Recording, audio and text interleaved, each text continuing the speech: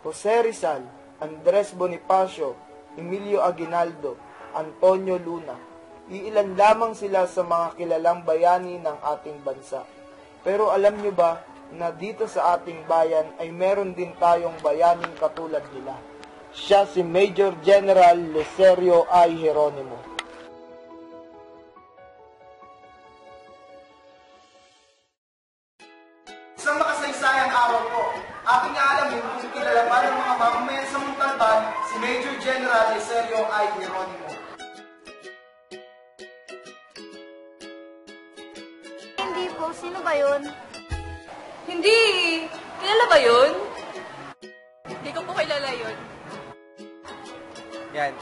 O, opo.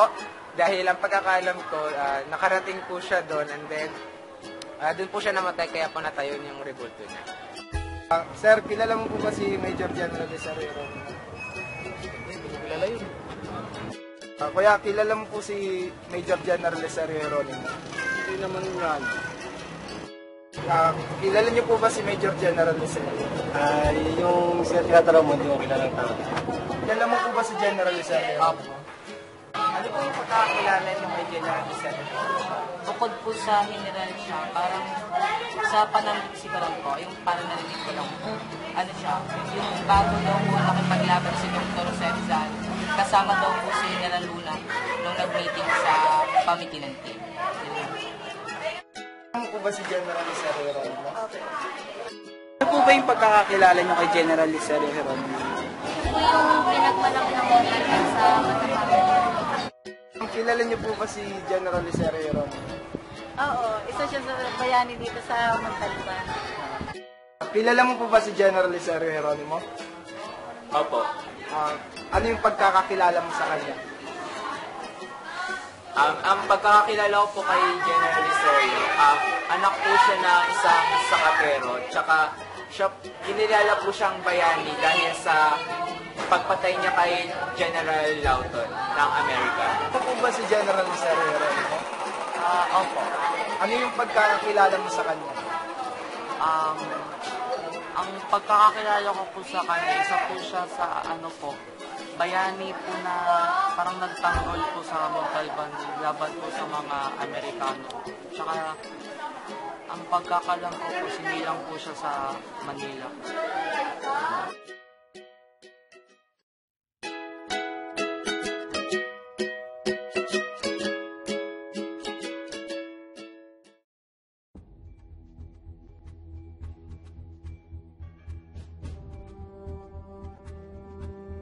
Lina't samahan niyo ako at ating alamin kung sino nga ba talaga si Major General Licerio I. Geronimo.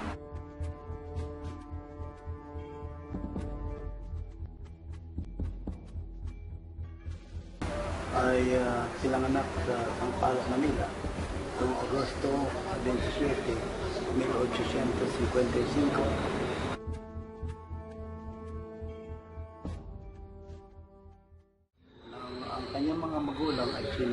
Graciano Geronimo na taga Montalban at si Flaviana Emaya na taga Gapan, Nueva Ah, anim sila magkakapatid at si Lolo ang pinakapanganay.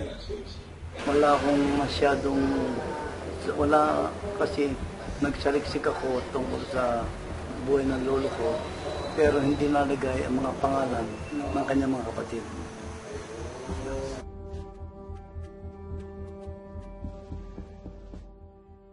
Pasaysayan ah sa istorya sa na nakalap ko sa sa ah, National Historical Commission, ah, lolo ko ay hindi gaano nakapag-aral.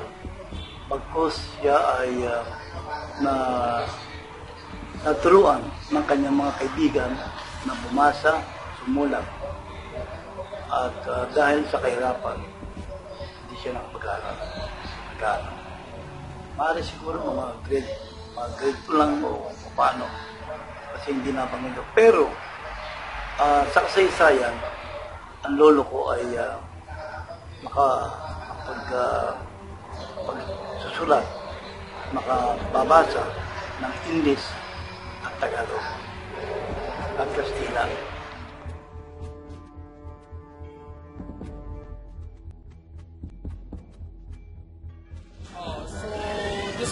Na-research ko dati, siya eh, um, panganay siya sa magkakapatid.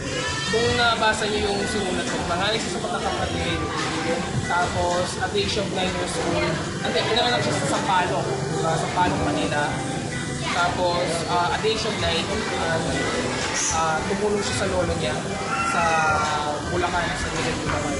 Tapos, nung 14 years old siya, bumalik siya ng Pampanga para makasama niya ang kapatid niya. Although yung father niya na ano, yung father niya, hindi rin tumagal yung buhay namatay rin. So, yun. Tapos, siya na rin parang tumatay yung ano rin, ah breadwinner ng pamilya nila. Simula nung namatay yung father niya.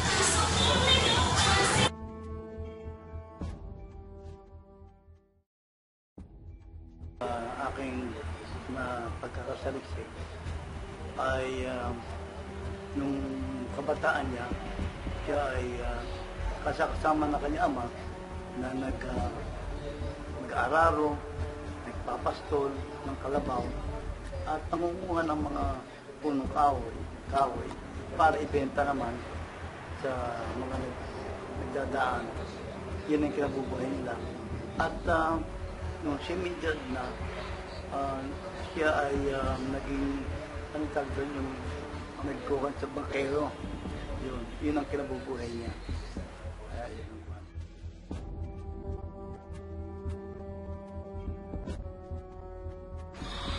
Ang kanyang unang asawa ay si Labiana Reyes. Si Labiana Reyes.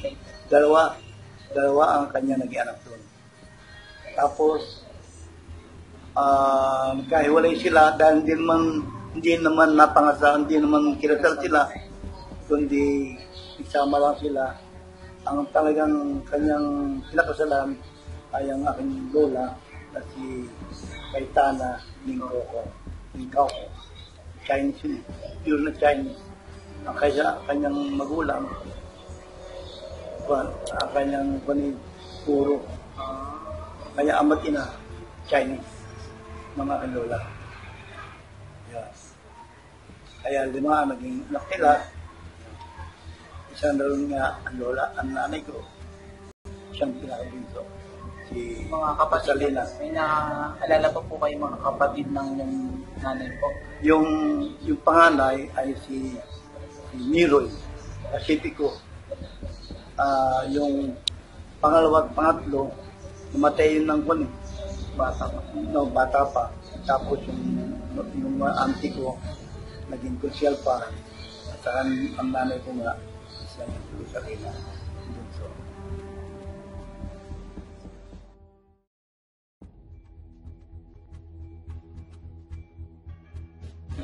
Ayon sa aking napag-alaman, nung ako'y bata pa, mareho na ako sa ng uh, edad na, na binanggit na ang lolo ko ay ah, ang sabi, pag ah, si Andres Bonifacio, tinatawag siya, halimbawa sa Quezon City, eh, hindi, hindi naglalakad, kundi nagsasahakin ibig sabihin ay nawawala. Tapos, yung nagpasundo sa kanya ay naiwan, pero siya nauna na dumating na sa sa kay Andres Bonifacio. Kaya yun. Tapos, si Lolo, ah, pinakita sa mga tigamantalban na yung ilog na malalim na pan, bagong baha, tumatawid si Lolo ng ng naglalakad sa loob sa gitna ng ilog. Kita-kita nila yun, pinito sa akin. At uh, yun nga, bigla nawawala na, hindi tinatabla ng bala. Ay, maraming pagsubok na, na dinanas niya, na dinabaril, pero hindi tinatamaan. Umilis. Pero saan po niya kaya nakuha po yun? Ayon sa kasaysayan at sa pida ng isang matanda na akin, ang lolo ko raw eh, di habang nagkuha ng kanyang, lo, ng kanyang tatay sa bukid nila, siya naman ay uh, may merong sinundan si lolo na isang may kislap. Hanggang doon umabot doon sa kwan, sa bundok ng Montalban. Doon. Oh, doon, doon ako daw. Ay sa kasaysayan yung bida sa akin ng tanda. Doon ako ng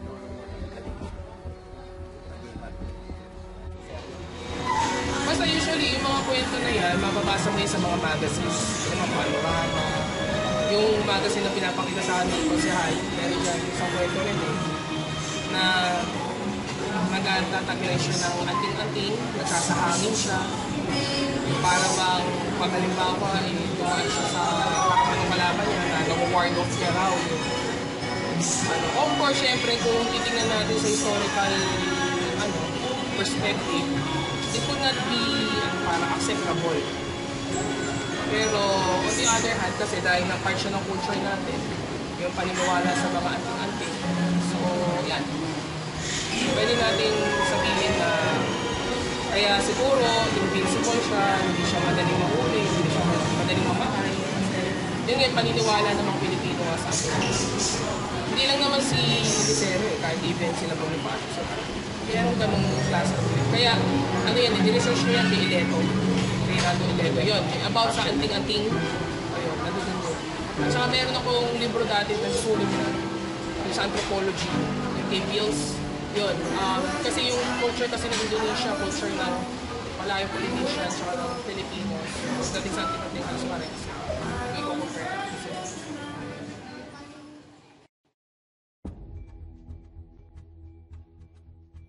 Noong ah, edad 36 anyos siya, siya ay madalas magpunta sa Wawa, saka sa Wawa, siya, iri, si Chihuahua, ang barangay ah, San Rafael, sa kanyang lolo na si Felix Sumali. Si Felix Sumali, ang siyang namamahala ng Wawa, si Chihuahua. At uh, ika nga ay siyang ah, kinikilala si Andres Bonifacio bilang katipunero dito sa Montalban. Kaya nung si Andres Bonifacio ay uh, magsadya sa Wawa na nakilala ni Lolo, ni Sergio, ay uh, hinihimo ang kanya ninong na maging pinuno ng katipunero dito sa Montalban. Subalit tumanggi at ang kanyang nirekomenda ay ang kanyang inanak na si si Sierra Geronimo. O kaya siya ay naging pinuno ng katipunan. Hanggang ngayon. malakas ang connection ni Geronimo kay Bonifacio. Kasi nga, siya yung ano eh, parang ginawang uh, end ng katipunan chapter dito sa Montalban sa Manila. Kasi nga kung alam din natin gusto, di ba, yung una sigaw na pananahan sa 1895 sa family ng King. Tapos, um, of course, nagsisignan natin eh, yung pari ang tumuli. During that time, hindi sila po. Kasi meron din sa side ng story ni uh, Miguel na pinakilala siya ng kanyang ninong kay Bonifacio. Kasi nga yung ninong nga niya si Kuya Suman. Kumbaga matanda na, uh, kumbaga, no health reasons, kaya hindi niya nagawa yung pinapagawa sa kanyang Bonifacio na magpulo sa sa Abril noong 1895, pumunta sila Andres Bonifacio kasama sina Guillermo Masangkay, Faustino Manyalak, Candido Iban at iba pang kasapi ng Katipunero upang manghikayat ng mga panibagong kasapi ng Katipunan. Na kung saan hinikayat nila si Felix Sumali, isang agwasil mayor ng Wawa, na mamuno sa chapter ng Katipunan dito sa Wawa, Montalban, Rizal. Subalit, tumanggi ito dahil sa kanyang natandaan. Kung kaya't inirekomenda niya ang kaniyang inaanak na si Licerio Hieronimo bilang kaniyang kapalit. At dito sa kuweba ng Pamintinan, naganap ang pagsapi ng mga bagong katipunero. At dito rin sa kuwebang ito, kanilang isinigaw ang Viva na Independensya Pilipina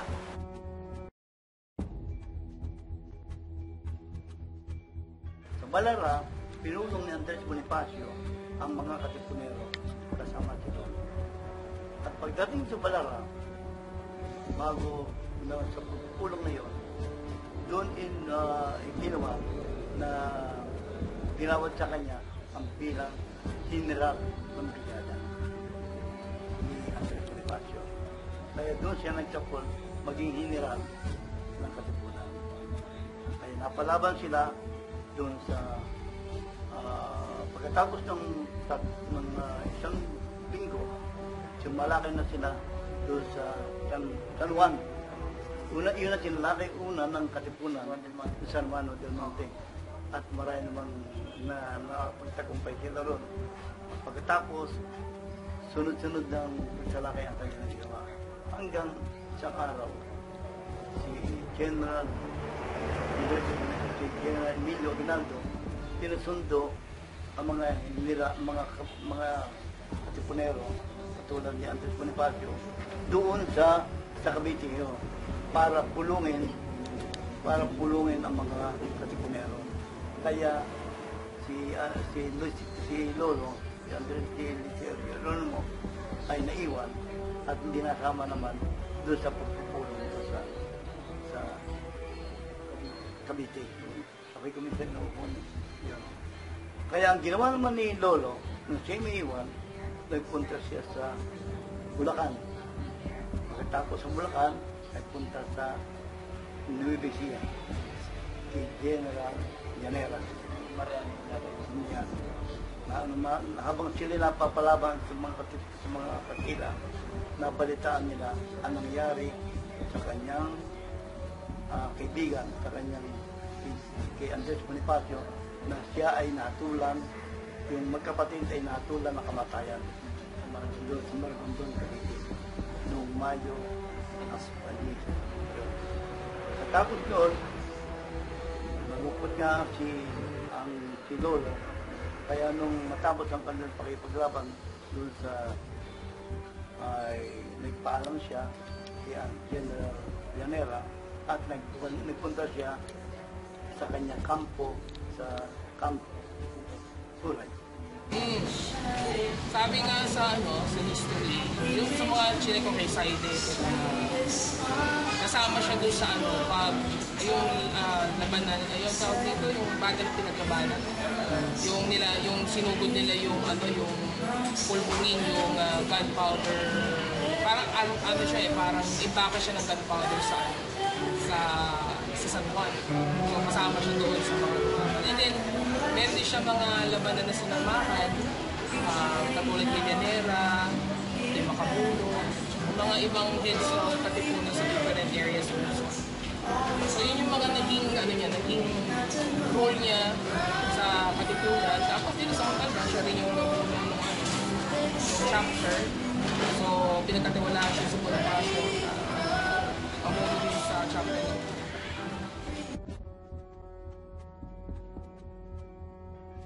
Tapos, sa Puray, nung nandun na siya habang iniisip niya ang nangyari sa kanyang kaibigan, sa hindi niya inaasahan na ay biglang dumating ang pamilya ni General Emilio Aguinaldo. Kasama kanyang, am, kanyang ina, ang kanyang asawa at mga anak doon sa sa, sa Puray. At doon nag-usap sila Maghapon sila nag-usap. Pagkatapos mag-usap, ay nagpaalam na si, si General. Pero, naiwan ang kanyang pamilya sa pangangalaga ni General uh, ni General. Pagkatapos noon, ng isang linggo, muling nagbalik si General Emilio Aguinaldo upang sabihin na doon gaganapin ang pagpupulong ng mga katipunero sa buong Central Luzon. Yun, ang mga mga pinuno. Kaya, ang nangyayari, sa layo ng pinanggalingan ng mga yung mababasa mo kung saan ano, pito yun eh. Pitong ah, ang lagu, ano, ang Lag- Laguna, ang ah, itong Rizal, itong Bulacan, uh, ito yun eh, na sa layo ng kanilang pinanggalingan, ah, ay matagal bago dumating doon sila sa Buray. Pero, ito pa, pero, nang, nung nandun na yung mga Katipunero, ay nabalitaan ng mga ah, mga Kastila ang gagawing pagpupulong ng pangkat ni General Emilio Aguinaldo. Kaya sinalakay ang lugar na yon. Subalit, hindi nakarating doon sa mismong pupulungan yung mga ang mga sundalong Kastila pagkat naharang ng pangkat ni General Henry General Lucero Geronimo at tumagal ng anim at six, uh, anim na oras at kalati ang labanan hanggang sa maraming sundalong Kastila ang namatay. At pagkatapos doon, nagpatuloy ni General Emilio Aguinaldo ang pagpupulong pero bago sinimulan at pinarangalan niya si General Lucero Geronimo bilang ah, Major General. Ginawa siyang Major General ni Andres Bonifacio. At kasama, pagpupulong nga siya at yung kanyang katungkulan ay patuloy na iginawad sa kanya.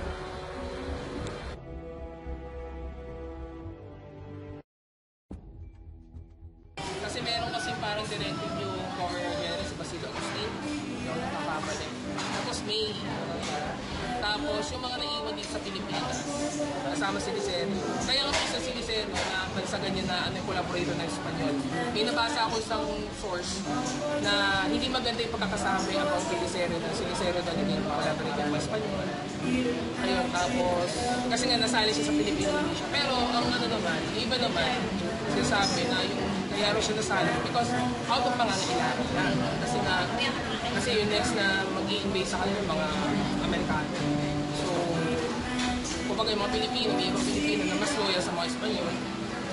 At yung, at yung dahilan kung bakit nila ginawa nung iba yun kasi para lumaban sa mga mananako.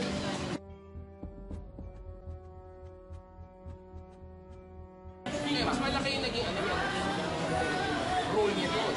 Lalo nga yung pinaka-highlight ng kanyang career. Ayun, um, namuna siya sa third military zone, yung territorial militia na tama ba?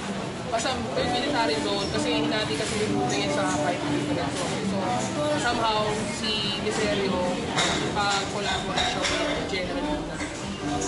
Kasi nga, di ba si General Luna kasi yung pinaka-head commander ng ano, Philippine Army during that time.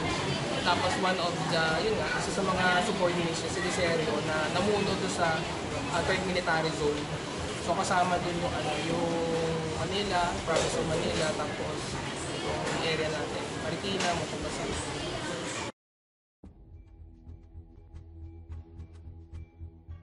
ah ah tatandaan niyo, February 4. February 4, 1899. Tertiary. Doon sa Sampalo. Nabaril ng nabaril ng sundalong Amerikano, ang sundalong tinawag na Persia na yun ang pinagmulan ng away ng muntag ng Pilipino at ng mga Amerikano. Kaya si General ah, General Antonio Luna ay kinuha siya ah, bilang pinuno ah, ng buong buong buong ah, Maynila, Rizal at mga kalatig-latigan. Ganun ang sistema. At ang kanyang kampo noon ay ang San Matayo. O, kaya, kaya, o, kaya, ang sistema mo, Kasi nung time na yun, parang basa yung paligid. Pero nag-insist pa rin si Lotto na. Eh during that time, di ba, hindi naman ganito yung tsura ng lugar natin no, na uh, may kalsada na may ano. Eh nung time, matala, matalain yung makulo yan. Nung uh, from Manila, siya, siya. Pero nung una kasi, parang hindi ko siya pinapayagan pumunta kasi nga, uh, eh kaya lang, ito naman si Lotto na nag-iisip na kaya niya i-manage. Tapos, itong sila ni Sero, nakaabang. Noong December 19, 1899, naganap ang Battle of San Mateo kung saan napatay si Major General Henry Werloton at labing tatlo sa kanyang mga kasamahan sa pamumuno ni General Licerio I. Geronimo at ng kanyang tiradores de la. Si Lolo, um, nung mabalitaan niya na darating si General Henry Loton, ay uh, nagkuhan sila doon sa, ka- sa ilog ng, ng Ka yung pagitan ng Sumatayo at ng na ang kanyang mga tauhan ay pawang mga Timuntalban, Sumatayo at Timarkina na mayroong sandaang tao na pinaguriang Tiradores Kinamante. So, yun na po yung binuo niyang tiradores de la Muerte. Kaya, ah, kaya pagdating nila noong December 19, 1899 ni ah, nila General Henry Loto doon sa ilog ng Nangka ay tumawid sila at doon sa gupa at tumagal ng dalawang oras at kalahati ang labanan na kung saan tinamaan si General Henry Loto at ang kanyang labintatlong mga tauhan. Nang mabalitaan ng kanyang mga ang kanyang mga tauhan na tinamaan ng kanyang general ay dali-daling itinakbo doon sa bundok ng Samatayo. At doon tuluyang binawi ng buhay si General Henry. Yung bundok na yun, na dating nasasakop ng Samatayo, sa ngayon ay nasasakop ng lungsod ng Quezon at yun ay nasa barangay Bagong Silangan. Dito sa Nangka River, naganap ang makasaysayang labanan sa pagitan ng pangkat ni General Henry Werloton at General Licerio I. Kasi si Roto, madali siya na pang assassinations. Masyadong maliwanag. Madali siya napansin. Eh, nakatayo lang siya. Kaya siya Dito mismo sa lugar na ito, sinasabing tinamaan ng bala ang Amerikanong general na si Henry Werloton mula sa mga Pilipinong sundalo na pinamumunuan ni General Licerio I.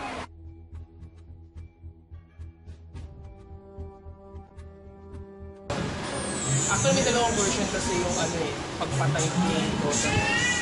Doon sa claim ni Jose Locampo, direktang nakapatay yung Rosa. Pero may ibang source na nagsasabi na hindi yung lolo niya yung direktang nakapatay.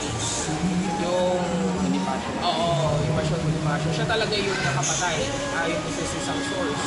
Ngayon, kung sa neutral point of view, kung ako tatanungin um, pwede natin sabihin na yung naging role ni Licerio is command responsibility.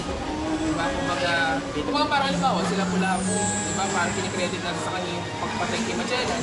Pero may mga studies na nagsasabi na hindi siya direct na So parang ganun yung sa perspective ko. Of course, Matapos madakip ni Emilio Aguinaldo sa Palating Isabela, sumuko rin si General Licerio Geronimo sa mga Amerikano noong Marso at 30, 1901 sa pamumuno ni Captain Duncan Henderson, CO, Company E ng 42 Infantry Regiment ng US Volunteer. At ipinresenta rin siya sa pinuno ng mga Amerikano na si Colonel J. Milton Thompson sa pamumuno ni Arturo Dancel, Pilipinong maka-Amerikano ng American General. Kasama niyang sumuko ang labindalawang mga opisyal, dalawamput siyam ng mga tauhan at tatlumpung mga baril. Ayon kay Suwakwel P. Hosala, isang historiador, Din sinasabing umulan ng malakas kasabay ng pagbagsak ng maraming yelo nang sumuko ang general sa mga Amerikano. At naganap ito sa harap ng Diocesan Shrine of Our Lady of Aransas.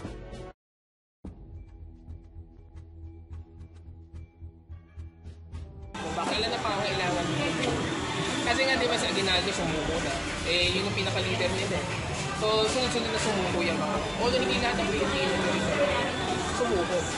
Kaya lang, isa sa mga maagang sumuko, si Rizero Oo. Kasi wala na yung leader eh. Lalaban ka pa ba? Parang, ano mo yun, ako, sa perspective ko, out of practical reason. Kaya siya sumuko.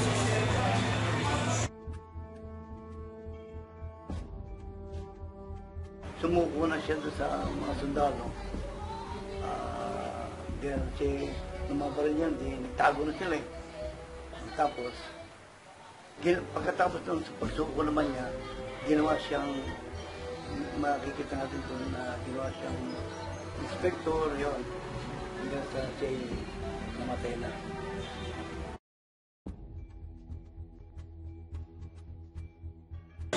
Mapapansin nyo, nung time ng digmaan, para, siya- para siya yung superstar, kumbaga hindi siya matalo, o kaya ano siya, eh, talagang malakas yung dating. Ibig Sabihin, pagdating sa labanan, talagang hindi siya matalo ng mga kalaban niya. This time, yung mga hinuhuli niya mga kapwa niya Pilipino, madalas siya natatakasan. Ikaw, siguro, tinitingnan ko na rin sa perspective na yun na maaaring hindi siya seryoso doon sa ginagawa. Katapos niya maglingkod sa konstabularyo, ay nanirahan siya sa San Rafael, dito sa Montalban, Rizal.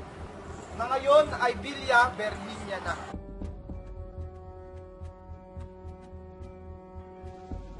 Ang lolo ko, tawag sa, aking nanay, ang kanyang ama ay isang buwang nakaratay ah, at ah, hindi kumakain yun, humihinga lang. Ngayon, merong lumapit na isang matanda. Siguro may alam din sa, sa kapangyarihan. Ang sinabi daw sa ng matanda, ayon sa dito sa akin, Seryo, iluwa mo na. Seryo, iluwa mo na. Pagkatanggit ng tatlong beses na, seryo, iluwa mo na. Lumabas mga apoy sa bibig. Pagkatapos ng pa na yun, saka nalagutan na hininga. Dito na rin siya binawian ng buhay noong January 16, 1924 dahil sa sakit na matinding rayuma. Nang si Hieronimo ay pumanaw na, inilagay ang kanyang labi sa isang karwaheng hila-hila ng alim na kabayo at dinala ito dito mismo sa libingang pambayan ng Muntalban.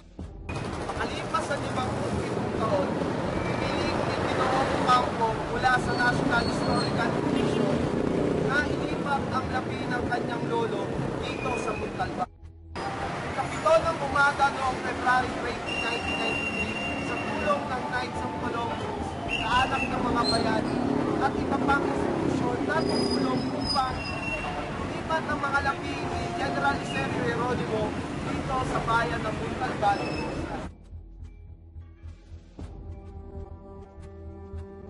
matyagang tao. Uh, malakas na loob. Tapos, kahit kulang pinag-aralan niya, pero na makikita mo yung leadership skills. Um, parang ano yun eh, parang makikita natin yung kanyang katapangan. Ah, kaya rin makikita natin dyan yung kanyang pagmamahal sa bayan. Sabihin na natin na nagpalipat-lipat siya ng camp. From Spanish to American to Constabulary, very vicious anday ng American. Pero na lang natin dun yung ano yung main purpose niya talaga bakit mo ginawa. ang pagmamahal sa ating bayan ang napakalagang ginawa niya. Sapagkat una-una, ang mga katipunero noon, nagsakripisyo ng walang inaasahang kandipala, kundi talagang sakripisyo upang ipag, ipaglaban nila ang ating bansa laban sa mga mga mga Kastila at sa mga katip, sa mga Amerikano.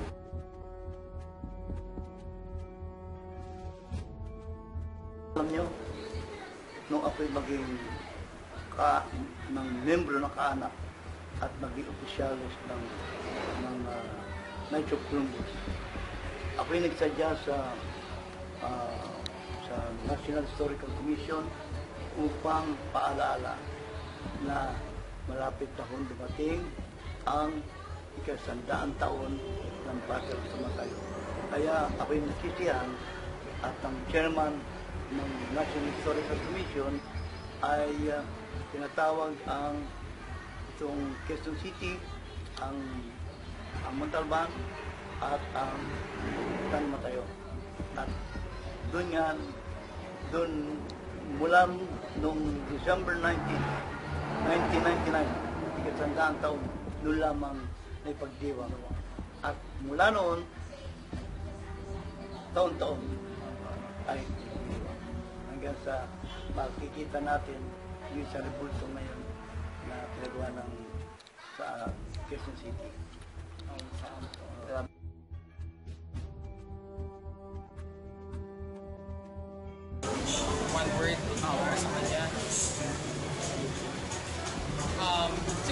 one word.